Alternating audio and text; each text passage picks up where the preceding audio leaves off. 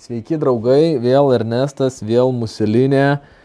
Toliau presuojame sausų musių temą ir šį kartą mažas oliv spalvos parašiutas.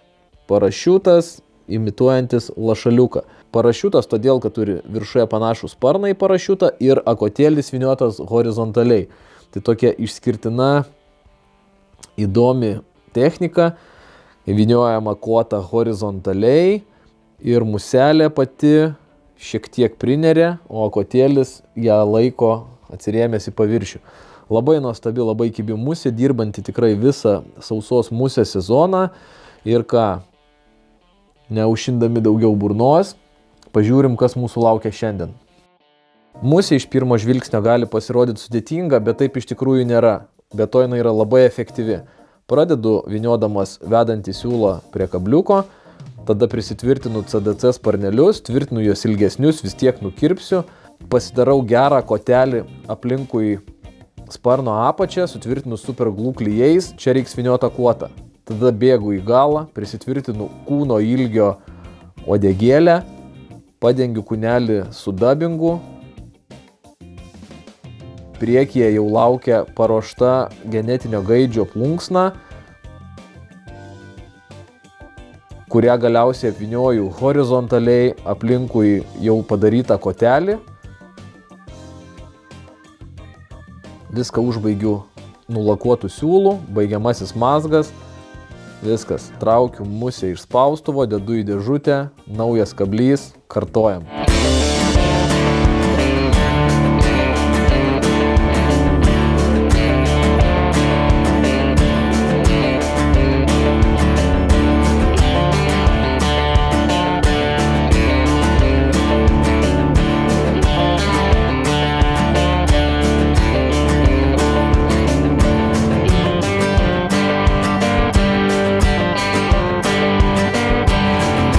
Pradedam ir vėl plonas juodas vedantis siūlas, šyras 14.0.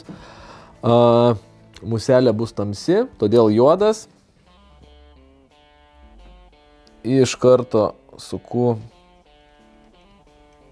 siūlą prie kabliuko, kerpu lauk. Ir kaip dažniausiai darome su sausa muselė, pradedam nuo sparniukų. Taip, dvi riebios plunksnos. Darant parašiutą, tos plunksnos gali būti ir ne pačios kokybiškiausios, nes vis tiek jį a, nukirpsim. Bent jau aš mėgstu nukirpti parašiutą, kad liktų toks trumpas, plonas šepetėlis, apie jį vėliau.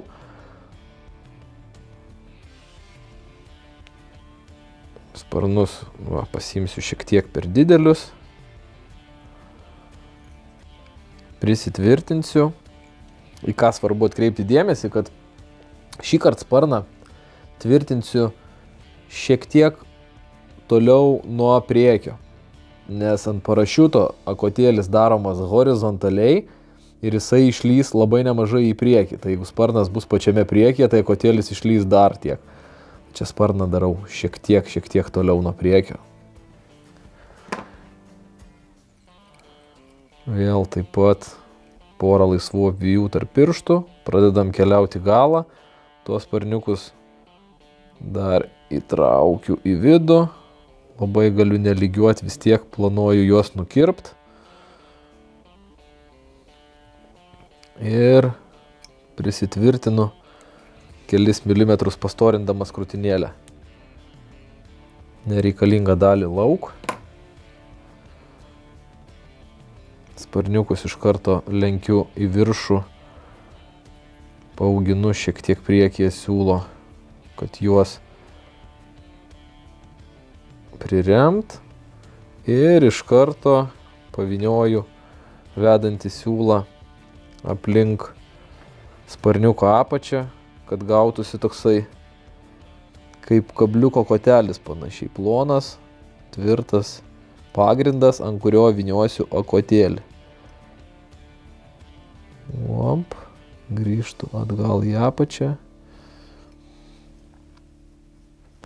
Čia galima dar uždėti mažą lašiuką super klyjų, tai jis iš vis bus tvirtas. kol pasidarysiu uodegą ir kūnelį, tie klyjei išdžius, viskas sutvirties ir bus dar lengviau darbuotis, mažiau lankstysis į šonus. Va, gavosi toks L formos kotelis. Gerai, toliau. Odegėlė iš kokdeleono. Spalva čia jau jūsų asmeninis reikalas. Aš šį kartą panaudosiu vėl raibą uodegą.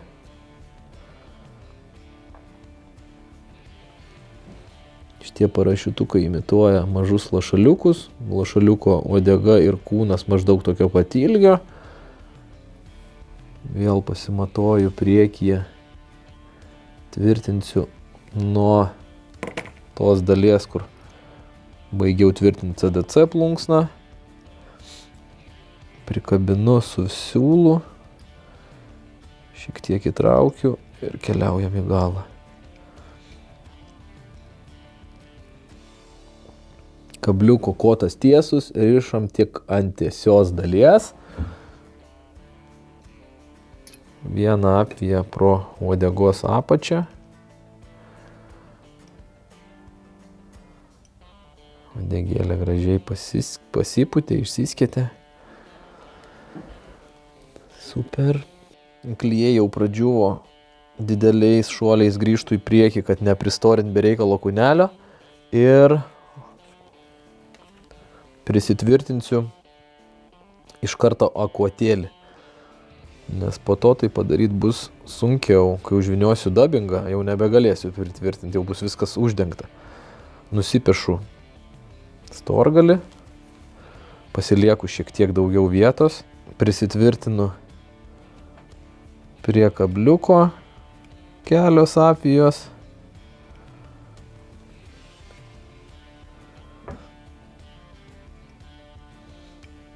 Ir iš karto pakeliu į viršų, pavinioju ir viršui prie to kotelio. Grįžtu žemyn, kad plunksna žiūrėtų labiau į viršų, kad netrukdytų man daryti kūnelio. Ir paskui, kai pradėsiu aš jau vinioti plunksną, šitą kotelį, tai aš jį viniosiu iš viršaus į apačią, į apačią, į apačią, kol prisispaus prie kūnelio ne į viršų keliausiu, o žemyn. A, gerai, tada galiu dideliais tarpais grįžti į galą.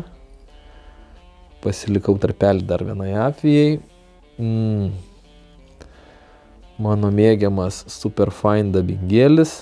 Šį kartą spalva tamsiai oliv. Suku jį tiesiai ant siūlo kaip visada, planuodamas siluetą, į musės galą mažiau, į krūtinėlę daugiau. Laisva vietų šis siūlas ir pradedam dengti.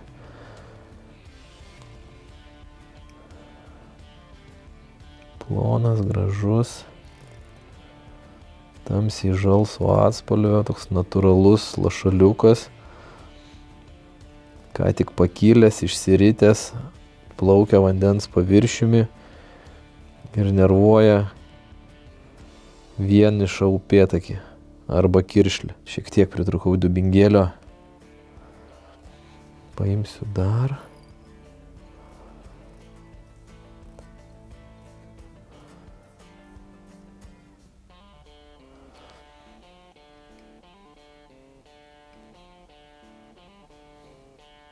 aštuoniukė aplink sparną. Į priekį ir tada jau labai plonai, su labai plonu sluoksniu grįžtu nuo priekio iki sparno ir vedantį siūlą apsivedu aplink. Graži lašaliuko forma, įgalus plonėja, beliko užviniota kotėlį. Dabar tuos sparnus, sakiau, nusikirpsiu, man patinka, kai būna tik tai trumpas šepetukas, o todėl, kad uh, nemanau, kad žuvis iš apačios ten labai tos sparnus matuoja, nes čia akuotas daug ką uždengia, gal ir geriau būtų ilgesni, bet pati muselė jinai bus žymiai stabilesnė, kai čia bus tik tai trumpas šepetukas. Trumpas šepetukas žymiai mažiau verčia musę į šoną negu didelė būrė. Na, o šita musė imituoja ką tik pakilusią, išsiritusią ir plaukiančią vandens paviršiumi muselę, mažą lašaliuką, tai tie sparnai pas juos dar būna tokie be išlenda. Bet galit palikti, galit susitvarkyti sparnus gražiai tvarkingai kaip paprasto lašaliuko ir palikti, galit pavarijuoti, pažaisti su skirtingais variantais. Aš darysiu taip. Ir dabar jau turiu kietą gražų kotelį, kurį sutvirtinau super glų klyjais. Ir kiekvieną apiją stengiuosi, pradėjau nuo viršaus ir vis po apačią. Virš kabliuko, pro apačią, virš kabliuko, pro apačią Ir kiekviena apija pastumia pakelia prieš tai buvusią. Na, tarkim, užteks. Tada apsuku vedantį siūlą aplinkui plunksną ir lygiai tokiu pat maršrutu aplink pro apačią, aplink pro apačią pasidarau porą avijų. Tiesiog, kad pritvirtinti. Pašalinu nereikalingą plunksnos galiuką. Šitoj stadijai sparnus jau galiu nukirpti. Nukirpti todėl, kad a, bus žymiai lengviau su mazgarišiu daryti mazgą, kai šitas sparnas bus trumpesnis. Pasidarau, kaip minėjau, trumpą gražų šepetuką. Dažniausiai jį darau iš šviesių spalvų, tokių kreminių, šviesiai žalsvų, kuo šviesesnė. Neretai balta, bet labiau mėgstu tokias visokias kreminės. E, privalumas, kad tu ją matai iš toli, ta muselė kaip kūnas jos paskesta, akotėlis atsiriamia į paviršių ir plaukia tik toks pukelis. Tu jį labai gerai matai iš toli. Tamsaus tu nematai iš toli. Šviesų matai. O ir jis gana natūraliai atrodo. Baltas labai šviečia, kiti deda būna ryškiai kokį salotinį, ryškiai oranžinį, tai dar geriau matosi, bet kiek tai gerai žuvim aš nežinau, o man labiausiai patinka tokie va, natūralūs kreminiai atspalviai. Na ir kaip minėjau, liko uždėti mazgiuką. Man bus labai sunku čia prieiti užlakuoti, tai aš iš karto nedidelį lašelį lako ant siūlo. Tada įmu mazgarišį jau klasikinį, su kitokiu aš čia neužryšiu. Ir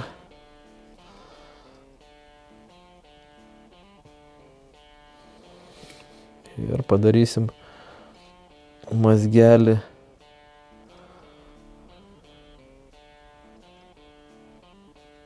po sparno apačią. Opt.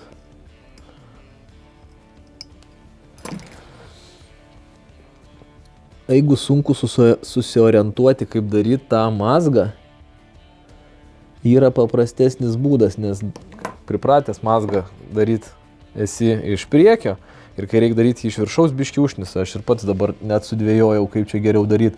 Tai galima tą muselę pasiversti biški šonu.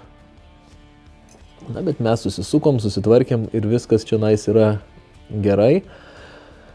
Lašaliukas pavyko tikrai puikus, musė nerealiai kibi.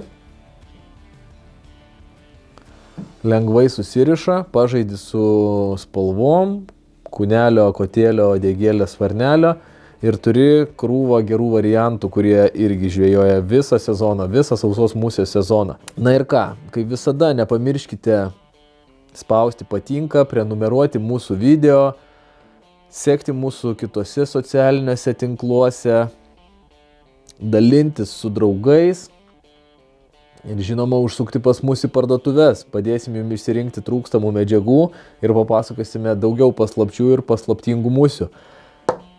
Kaip visada, susitiksime kitą kartą prie spaustuvo arba iki kelių upėse. Iki!